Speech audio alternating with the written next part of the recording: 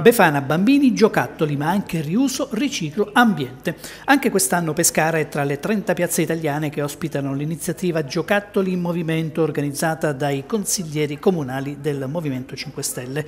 A Pescara il gazebo si trova all'angolo di via Fabrizi e Corso Umberto. Ma come funziona? Lo abbiamo chiesto ad Erika Alessandrini.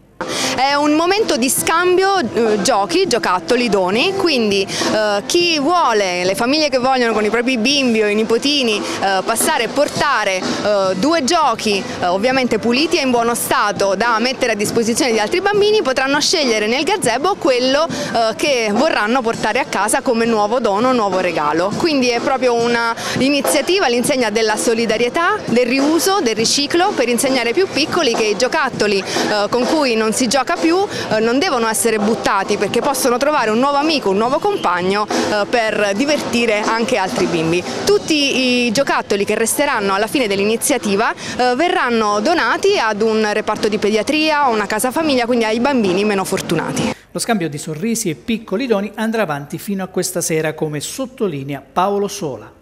Sì, stasera fino alle 21 e l'appuntamento è rivolto a tutti eh, i piccoli cittadini pescaresi e non solo, ma anche dei paesi limitrofi, eh, perché anche nell'ottica della prossima fusione nella nuova Pescara vogliamo che, appunto, che questo messaggio arrivi anche nelle zone eh, limitrofe. Una trentina le piazze italiane, in Abruzzo voi e anche qualcun'altra?